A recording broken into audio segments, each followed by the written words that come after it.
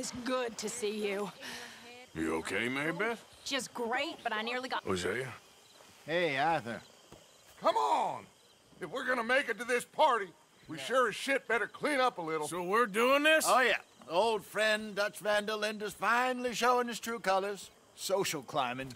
Old Senor Bronte, that horrendous snake, has invited us to the ball, Cinderella. So my suggestion is we go and get you a gown. you son of a bitch.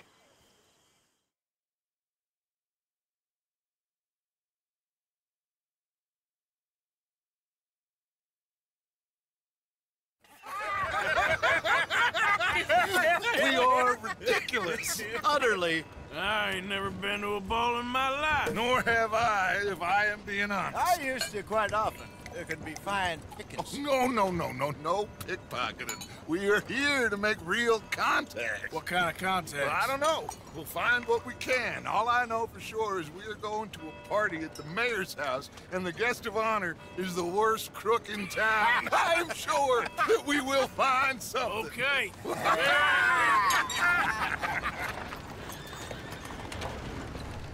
Gentlemen, Luca, I'm afraid the mayor does not allow guns at official functions after last year's incident.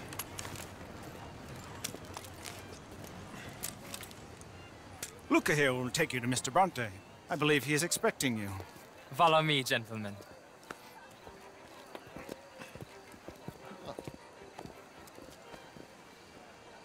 This way, please, gentlemen.